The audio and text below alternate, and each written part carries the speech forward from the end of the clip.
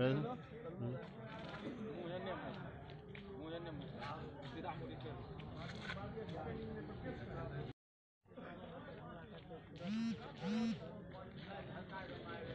तरफ लाहौर ওই तरफ सीधा हम बोलिए मुआ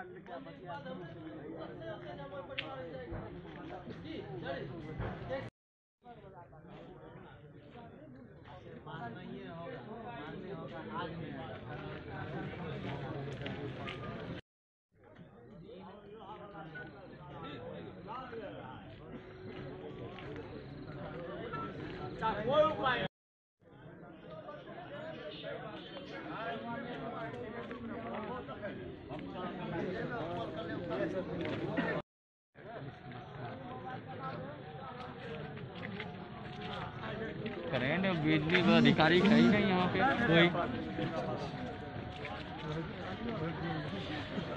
बिजली अधिकारी को बुलाइए तो हेलो। जिस तरह से वो किसान युवक थे सिंटू से आएगा और उसी से उसको करंट लगा और जिससे उसको उसकी मौत स्थान वहीं हो गया घटना स्थल पर ही। और उसके बाद परिजन सारे गाँव के लोग उठा करके यहाँ जाम कर दिए। हम लोगों को जानकारी मिली कि ऐसे यहाँ सड़क जाम है।